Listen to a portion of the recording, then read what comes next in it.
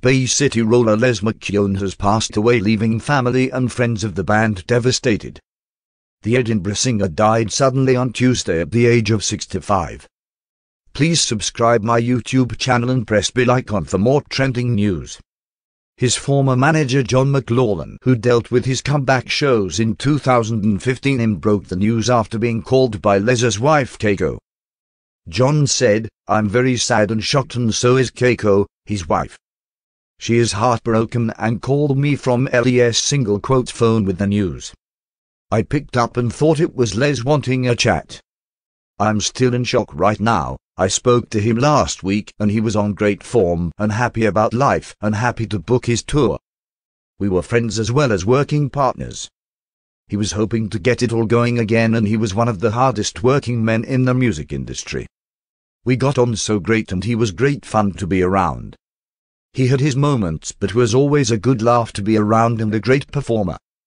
He added, he was a great singer. The Bay City Rollers were the biggest band in the world in the mid-70s and beyond. They had their own TV show in Rollermania. They flew the flag for Scotland and made me think as a wee boy watching the telly you can be a pop star and in music and they meant a lot to me getting involved in music and the industry and the clothes and the hair and image were brilliant and the gang mentality was amazing. I'm honored to have worked with them. Keiko confirmed later on Les's Facebook page it is with profound sadness that we announce the death of our beloved husband and father Leslie Richard McKeown. Leslie died suddenly at home on Tuesday the 20th of April 2021. We are currently making arrangements for his funeral and ask for privacy after the shock of our profound loss. Thank you. Keiko and Jubei McKeown. Stuart Woody Wood, guitarist with the band who had worldwide hits with Bye Bye Baby, Shang-a-Lang on Saturday night said, I am upset and shocked to hear this very sad news.